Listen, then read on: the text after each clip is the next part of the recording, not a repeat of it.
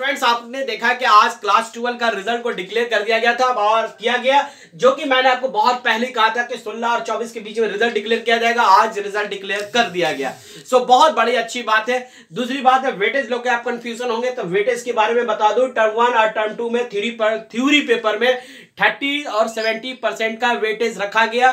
जबकि प्रैक्टिकल की बात करेंगे तो दोनों में fifty fifty percent class ten और ट्वेल्व दोनों वालों के लिए रखा गया है। इसके लिए सीबीएसई ने ऑफिशियल नोटिफिकेशन जारी कर दिया आप वेबसाइट से भी जाकर दे सकते हैं और पूरी डिटेल वहाँ पर आपको मिल जाएगा।